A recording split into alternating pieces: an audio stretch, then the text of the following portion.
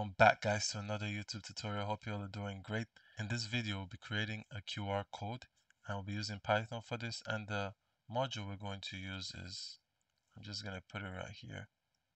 Import QR code. So this is the module we're using. If you don't have it, all you need to do is go to your terminal and you click on pip install QR code. I already have it. You just click on that and click enter I should get it. So yeah, that's it for that. You can use your command line too to install it. Do the same thing, pip install QR code. Now I have a message right here and I'm not going to show you guys. It's a question and I'm going to create a QR code for that. So if you want to see the question, you have to actually read the QR code to get the question. And I want you to put your answer down in the comments below. So yeah, this is the cool things you can do with QR code. So you know what, let's get started. And the way I'll do it, I'll import this file right here. And the way to import file is from MSG. That's the name of the file, msg.py. The name of the file is msg.py. So we say from msg import code. And the code is actually the question. It's a string, uh, which is the question. And then from that,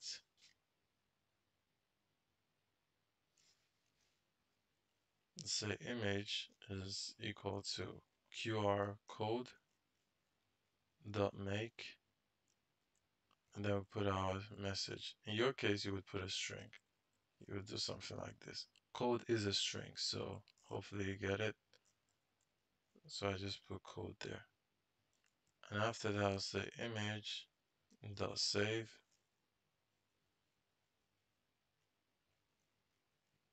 your message. Your message dot dot png so this is us basically saving it in our in our file as an image. So now all we need to do is just run it. So we run it and you can see it right here. Click on it and this is it. So make sure you actually read this QR code and answer the question down in the comments below. So this is the nice thing. We just made a simple QR code. I'm going to comment this out real quick. Don't want to delete it. Just comment it out. And yes, another thing we can do with QR code is we can customize it a little bit and make it look more like the way we want it. We can increase or reduce the dimension. So we say QR is equal to QR code, and this QR could be anything. You could even put code there. But I already have code, so yeah, then I would have to comment this out. So we say code is equal to QR code dot QR with a capital. And now we put the version. So I'll say version 1.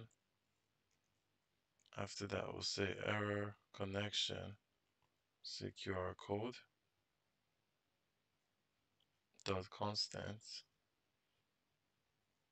dot error correct L.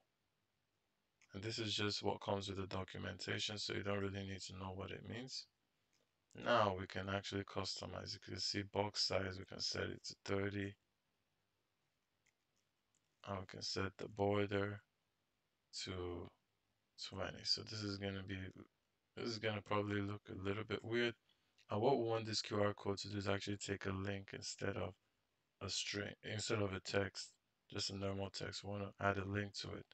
So what we'll do is we'll say code dot add add data and here I just put HTTPS yeah so you get this link when you read the QR code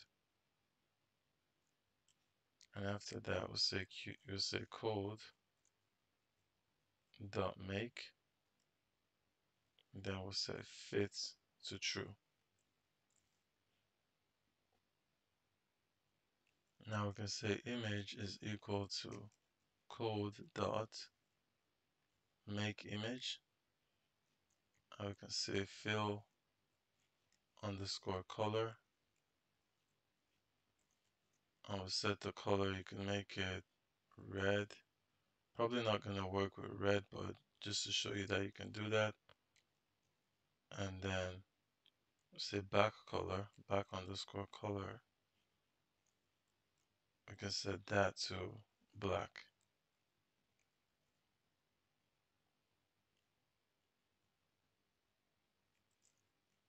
And say image dot save and we need to give it the name of the file called it custom dot png and now if we run it we get custom. And you can see it's red and black. Actually so I'm gonna try this out to see if it works like this. Not totally sure okay so red and black doesn't work so we'll change this to the fill color to black. I can change this the back color to red. Now let's try that.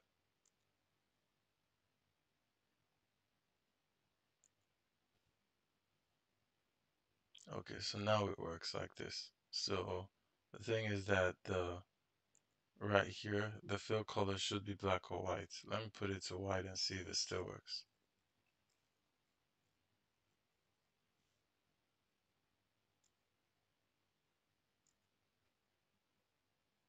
Okay, so it doesn't work. So that means that this fill color has to be black for it to work. So that's just so you know for sure. And yeah, that's basically what we can do with this. Another thing we can do is we can actually change it to SVG instead of using PNG. Yeah, let me show you how we do that. So yeah, I'm just gonna comment this out.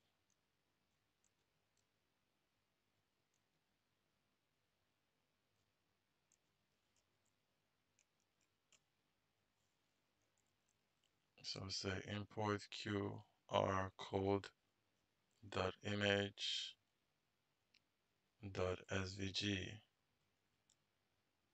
and now say factory is equal to QR code dot image dot svg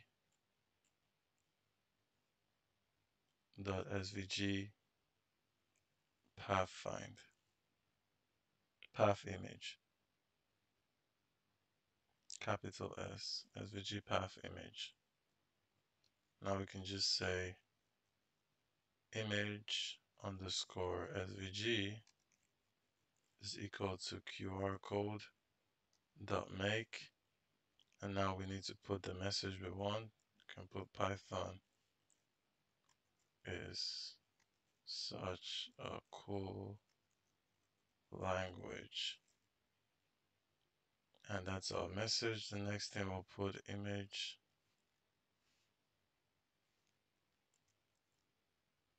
Say image underscore factory